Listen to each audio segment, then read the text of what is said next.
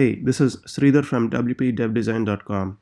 In this video, I want to show how we can create a layout in Oxygen that has a fixed left sidebar. Okay, let's start by creating a new page.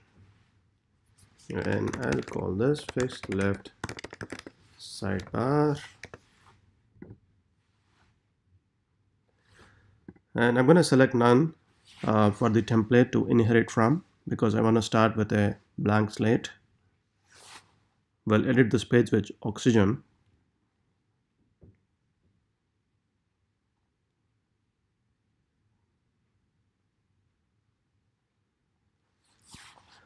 Okay, so what we'll do first is to add a columns element that has two columns.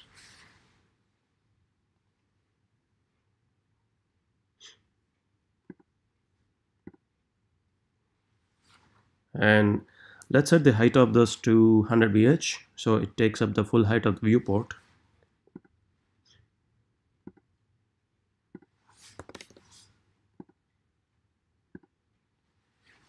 Okay. And uh, let's select the left column and we're going to set the width to 400 pixels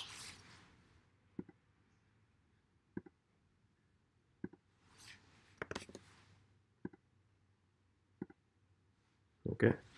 And let's add a logo and a menu in the left sidebar.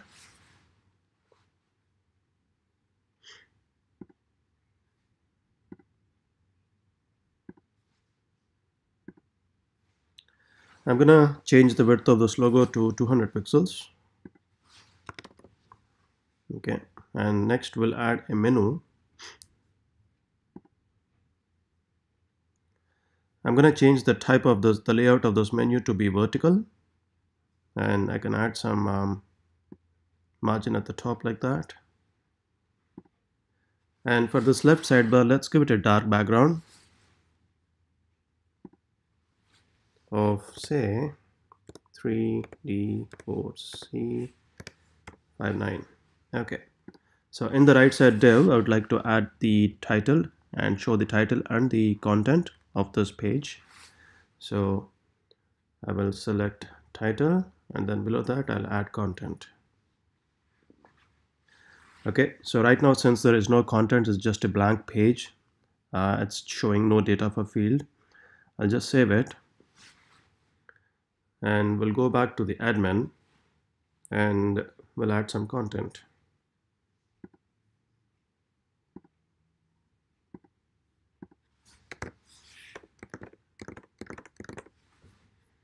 okay let's update. And then I'm going to reload the page in the oxygen. Editor.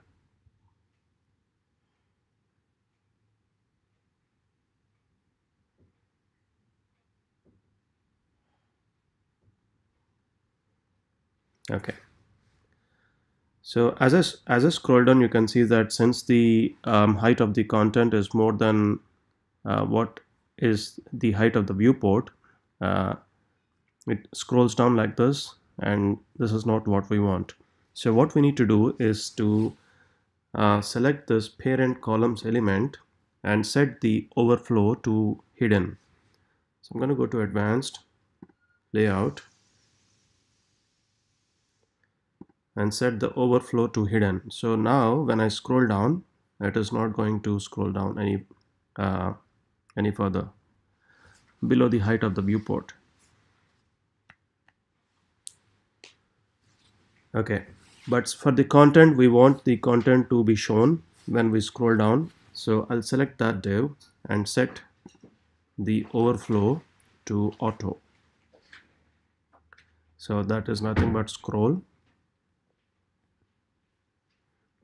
So now we have a vertical scroll bar appearing in the right side content, which is what we want all right so for this div we want this right side content to take up whatever is the available space uh, that is the total width of the browser window minus the 400 pixels that we have set for this div so we'll need to set this div to grow. For that I'll go to advanced layout and set flex grow to 1 so when I save this now and take a look at the front end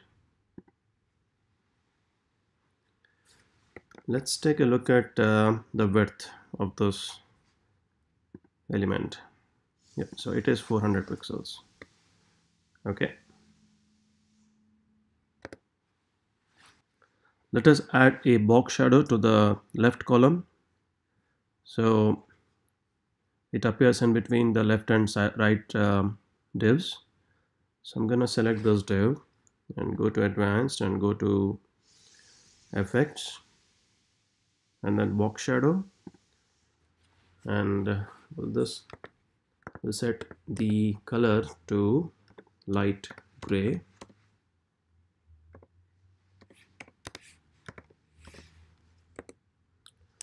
And for the horizontal offset I'll set this to 5 pixels. And the vertical offset will set to 0 blur let's set this to 25 pixels and spread as 0 so that basically adds a light um, box shadow to the right side of this left div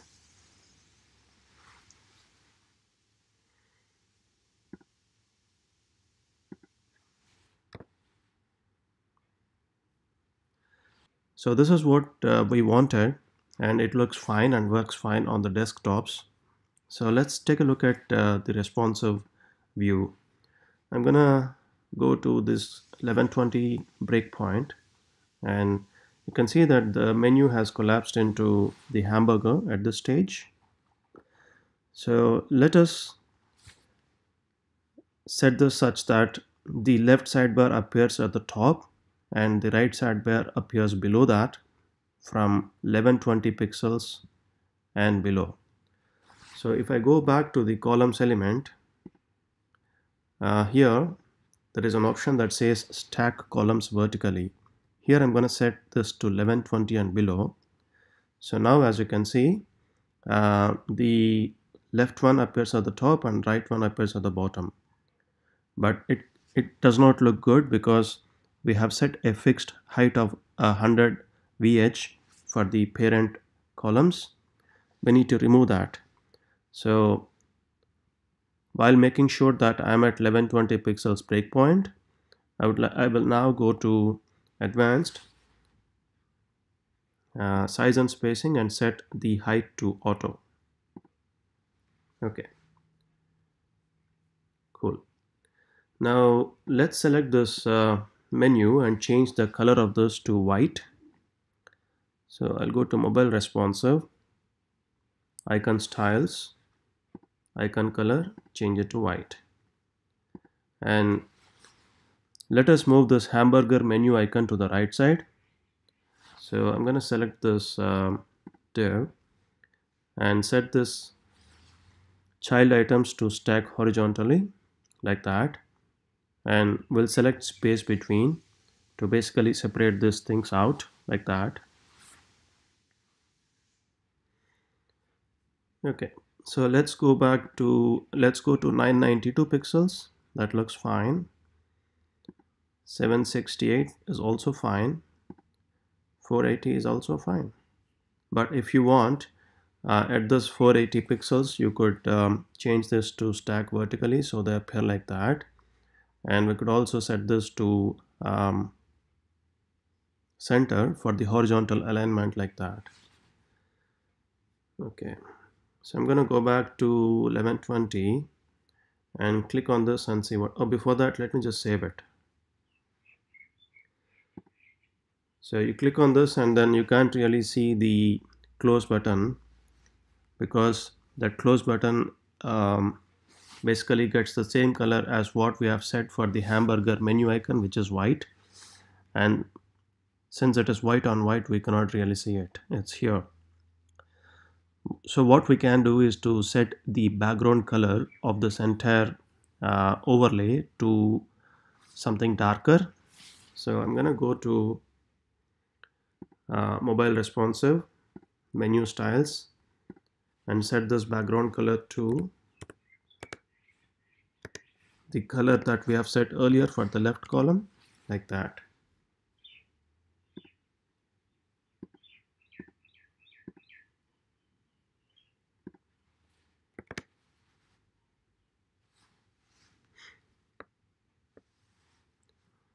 We can see this in action by reducing the width of the browser window. You can see at this stage it collapses into the hamburger and appears on the right.